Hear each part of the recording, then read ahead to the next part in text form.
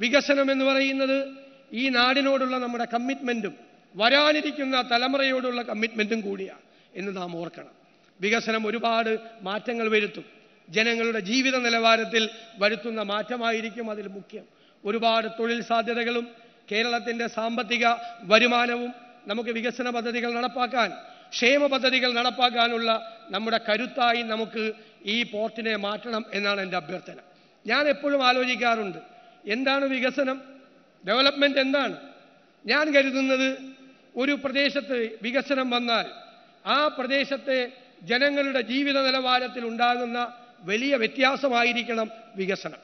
അല്ലാതെ ഒരു പ്ര- പ്രദേശത്ത് വികസനം വരുമ്പോൾ ആ പ്രദേശത്ത് ജീവിക്കുന്ന സാധാരണ മനുഷ്യരെ ചേരിയിലേക്കും സിമന്റ് ഗോഡൌണിലേക്കും തള്ളിവിടുന്നതാകരുത് വികസനം.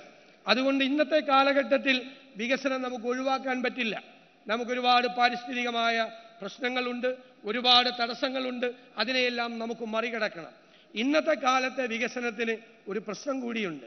ഡെവലപ്മെന്റ് വിക്ടിംസ് വികസനത്തിന്റെ ഇരകൾ ഉണ്ടാകുന്നു അത് മുൻകൂട്ടി കണ്ടുകൊണ്ടാണ് ഉമ്മൻചാണ്ടിയുടെ സർക്കാരിന്റെ കാലത്ത് നാനൂറ്റി എഴുപത്തിരണ്ട് കോടി രൂപ ഈ തീരപ്രദേശത്തെ മത്സ്യത്തൊഴിലാളികളായ പാവങ്ങൾക്ക് പുനരധിവാസത്തിന് വേണ്ടി നീക്കിവെക്കുകയും അതിന്റെ ഗവൺമെന്റ് ഉത്തരവിറക്കുകയും ചെയ്തത്.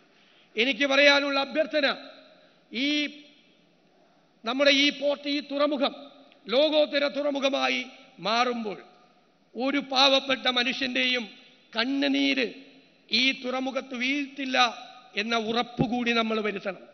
അവർക്കെല്ലാവർക്കും പുനരധിവാസം ഉറപ്പാക്കുക എന്നത് നമ്മുടെ എല്ലാവരുടെയും ലക്ഷ്യമാകണം.